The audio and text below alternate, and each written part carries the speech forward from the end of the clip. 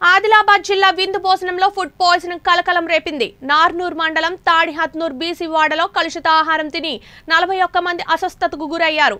దీంతో వారిని మండల కేంద్రంలోని ప్రభుత్వ ఆసుపత్రికి తరలించారు. అక్కడ వారికి చికిత్స అందించారు.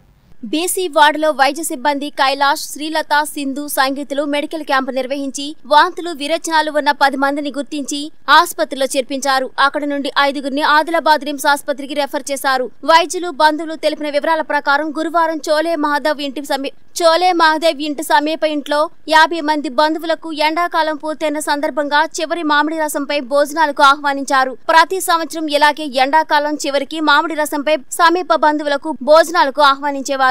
కానీ ఈసారి ఇలా ఎందుకు అయిందో అర్థం కావడం లేదని బంధువులు భయానికి గురయ్యారు. ఫుడ్ పాయిజన్తో అస్వస్థత గురైనట్లు వైద్యుడు విజయ్ కుమార్ తెలిపారు. పరిస్థితి నిలకడగానే ఉందని తెలిపారు. విష్ణుపట్ నా పేరు. తడత్రు గ్రామ పంచాయతీ ఉపసర్పం తడత్రు నిన్న మా బావ ఇంటి కూడా అందరికి నాలుగైదు ఫ్యామిలీ చెప్పి ఒకటే దగ్గర తిన్నాము అందరు. దాంట్లో ఏం పుట్టదో ఫుడ్ పోయింది నలభై నలభై రెండు మంది హాస్పిటల్ వచ్చింది కొందరికి తక్కువ ఉన్నది కొందరికి ఎక్కువ ఉన్నది అది రిమ్స్కు అది రిమ్స్కు రిఫర్ చేస్తున్నాం. నిన్న నైట్ తినడానికి వెళ్ళినాం. దాంట్లో ఫుడ్ పాయిజన్ అయిందేమో అందరికీ మోషన్స్ జ్వరం చలి జ్వరం ఉంది ఇంకా వామిటింగ్స్ అవుతుంది అందరికి ఫుడ్ పాయిజన్ అయిందా?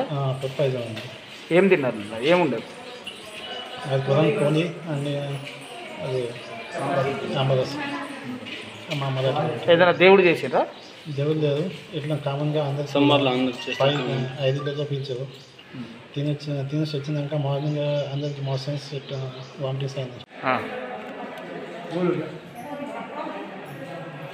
ताड़ेपुर से आया साहब నామ मेरा नाम छोटे विक्टर हमारे बड़े भाई के घर को फंक्शन बना है पूरन पूरी का तो सबको खाने को बुलाया बुलाने के बाद क्या बोले तो रात में खाना खाए किसी को दो बजे से किसी को सवेरे अ, ऐसा मोशन चालू होगा मोशन वॉमिटिंग उसके बाद में बुखार आना ऐसा चालू हुआ सर